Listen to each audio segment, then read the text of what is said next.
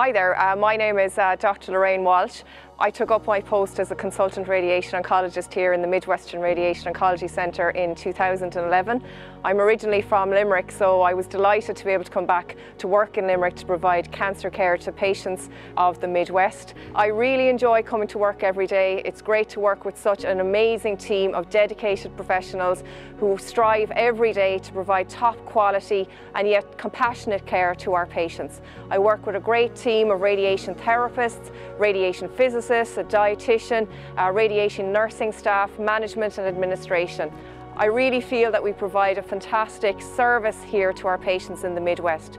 For me personally, I trained in uh, breast radiotherapy and gynecological malignancies. I also treat lung cancer, so I work with a great team in uh, providing that care.